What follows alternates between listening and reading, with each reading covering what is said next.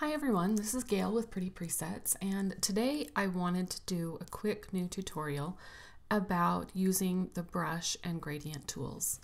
Now these tools have been around in Lightroom for a long time, but recently with an update that Lightroom made, these tools are now located in a different spot and they've been kind of, they've been renamed.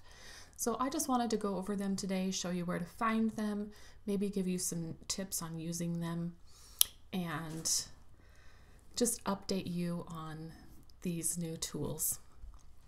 So before, the tools that we would use um, were the brush, we would use a radial filter, and we would use a graduated filter. And all of those tools were located up in this toolbar that's kind of between the basic panel and the histogram. And recently with an update, Lightroom changed this panel so that there's only four tools here now we have the crop tool, we have the healing and cloning tool, the red eye tool, and now we have what's called a masks tool. And it's this little circle with a dotted outline. And if I click on it, I'm gonna see any masks that I've added to my image. Lightroom is now calling masks anytime you're targeting a small area of your image. So anytime I apply a brush, anytime I apply a radial gradient, or a linear gradient, that's now called a mask. And you can think of masks really simply as just a way to select a small part of your image and make an adjustment to it. So with a brush, that's what I'm doing. I'm taking a small part of my image, I'm selecting with the brush a small part of my image that I want to adjust. With the radial filter, or what's now being called the radial gradient, Basically what I'm doing is I'm targeting a small section or part of my image with a circular tool. With the linear gradient, I'm targeting a small part of my image, actually a larger part, but still a small part of my image with a linear gradient. So with these new adjustments, I would really just focus on these are there are different ways to select a portion of your image and apply a change to just a portion of your image. And these are the tools, these masking tools are the tools that are going to help you target and apply small changes to small areas of your photo. So um, you can see when I clicked on this masks tool over here, I've already applied some masks. So this is the new panel that's going to open over here. I'm going to see this masking panel. And if I click over here on the masks tool again, it disappears. If I click on it, it reappears. I can move this around. I can dock it down here. I'm just leaving it here right now because that's the easiest thing for me. But um, there are the pins for each of these edits are a little bit different now. When they're just generic and there isn't one selected, they're kind of this flag type shape Okay, and as I hover over each one of them, some redness appears and shows you where um, I've applied an adjustment. Um, and each of these adjustments have I've added with brushes. So if I want to create a new mask, I can come up here and click on this little button with a plus sign inside that says create new mask. I can click on that and here are all my options now for creating or selecting a small part of my image to make an adjustment to. Now the ones in the middle are going to be the ones that you're most familiar with and that's the brush. Here we have the linear gradient and we have the radial gradient. And these tools really aren't going to behave any differently than they have previously. So if you've been familiar with these tools before, you're going to be familiar with these tools now. They've really just been relocated and slightly renamed. So with this create new mask button, I can come down here and I can select, let's choose a radial gradient. And a new mask is gonna appear up here. Um, I'm gonna come over here and draw a circle on my image. Okay, I'm just gonna, let's say we want to maybe cool down this side of the image, maybe over this part of our subject a little bit. Now, whatever I did last is gonna select on here. You can actually check this box to reset the sliders automatically. Um, the way it was before was that whatever was applied last is what applied now, and that's just what I was used to, so I unchecked that. But however you want it to, to behave, you can choose. So I'm just going to come over here and I'm going to choose um, cool down. And that is going to apply a cooling effect to just this part of my, my radial filter. With the radial filters, you can resize them after you've made them. Um, by hovering just outside any of these dots, um, I can turn them also. Um, by hovering over them and then clicking and dragging, I can make them a completely different shape if I would like. Um, by highlighting the pin in the middle, I can move them. And with it highlighted here and here, if I don't want it and I want to get rid of it, all I have to do is tap the delete key and that filter is now gone.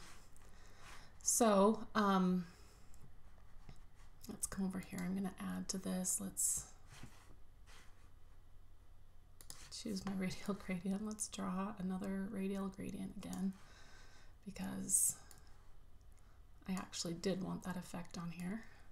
Let's resize it a little bit. Let's rotate it so it's kind of just over his head and face a little bit. And that can help us cool down just that part of our, our subject a little bit.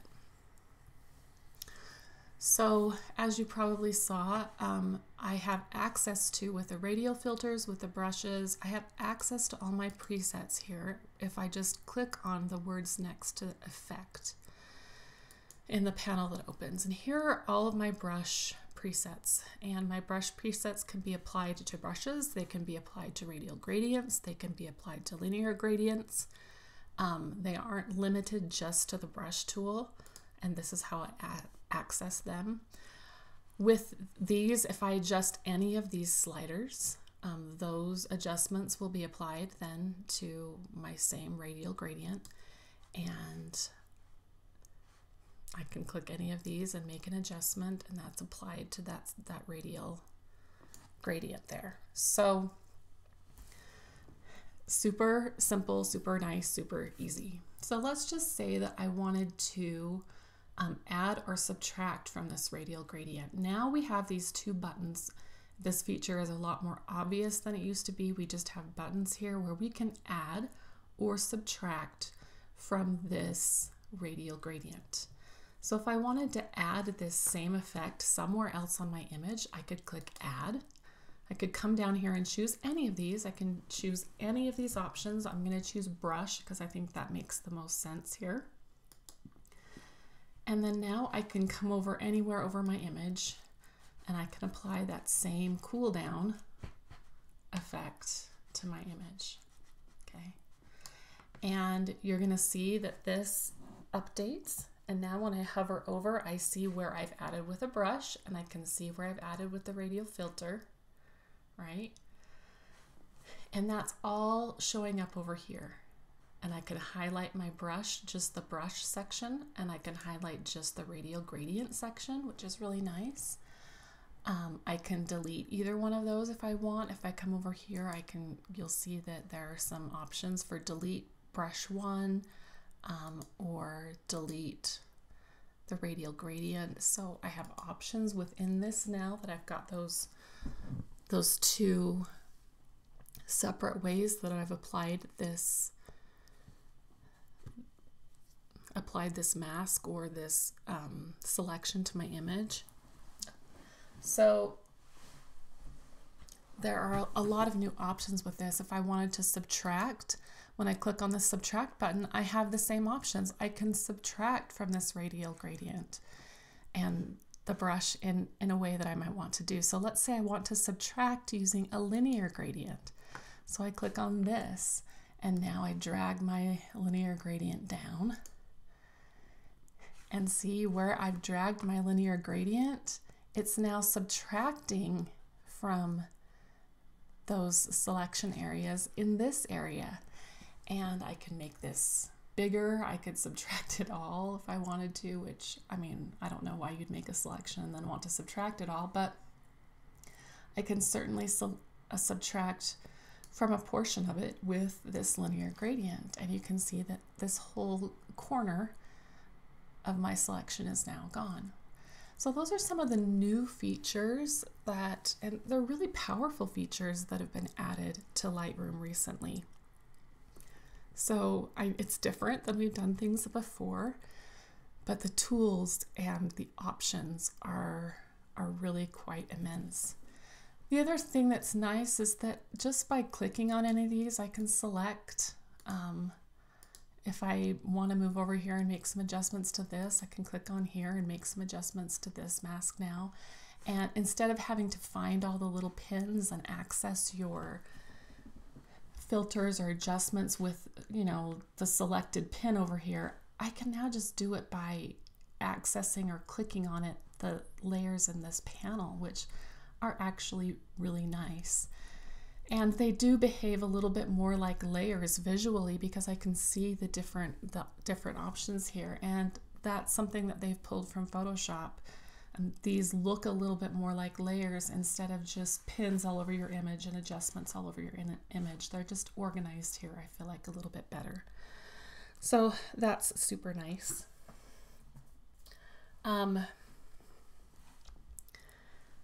maybe just one last thing to kind of um, be aware of. Each of the panels, when I when I've now made these masks, each of my panels are going to look a little bit different. Um, they're all going to have these same sliders here, and I can make any adjustments to these. Um, but whatever adjustment I make, it's going to affect all of these parts of this mask. So I can maybe, if I don't like how cool it made things, I can adjust the temperature here. I can, I can make it less, I can make it more warm, whatever I want to do. Um, with a brush, there are going to be a few more options up here. These allow me to change the feather of my brush, the flow of my brush, the density of my brush. And that just basically how much of the effect do I want applied every time I brush over. That's basically what those are going to adjust. The feather is going to adjust how hard the edge is on my brush. So if I change the feather to be zero, now I have this really hard brush that I'm applying here. And there's no feather to the outside edge. But if I change it back to 100, you can see that on the outside edge there, um, between the inner circle and the outer circle, the adjustment is going to be feathered away to nothing. It's going to be solid or more solid on the inner circle and gradually fade away to where the outer circle is at. So I have a few more options here with, with a brush than I do with a, a radial filter type tool. Um, these are really powerful tools and I love using them. I think they make editing so much more precise and effective. Um, and I think that as you use these tools, you'll find that same thing. You'll find that these allow your editing and take your editing to a completely different level. Hopefully, this has helped you understand the brush and gradient tools as they now exist in Lightroom.